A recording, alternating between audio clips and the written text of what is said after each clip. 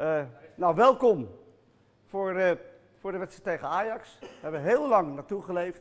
Maar zijn ook trots dat wij een klein clubje zijn in Rijswijk. En een klein clubje, en het, eigenlijk het, eh, het onderwerp van het verhaal is dat een klein clubje heel groot kan zijn in het, in het regelen van zo'n wedstrijd. Want wellicht speel je vanavond de wedstrijd van je leven en dan, dan gaat ten achteruit. Dan word ik trainer bij Ajax en dan mag je bij mij komen voetballen, bij wijze van spreken, toch? Het enige wat ik dan wil bij die bespreking is dat je gewoon jezelf blijft, dat je focust op hetgeen wat ik uitleg. Of je speelt of je niet speelt. Dat maakt me niet uit. Ja? De opstelling wordt in de kleedkamer bekendgemaakt, zoals altijd. Het is gewoon een wedstrijd voor mij het is niet anders, alleen tegen Ajax. Duidelijk? En dan gaan we op tijd naar de kleedkamer en dan maak ik de opstelling bekend. En dan doen wij als eerste, dan ga ik jou aankijken, want jij moet altijd, ja, jij aanvoerder, jij moet altijd poepen en weer andere dingen doen. We gaan als eerste, we gaan als eerste het veld op.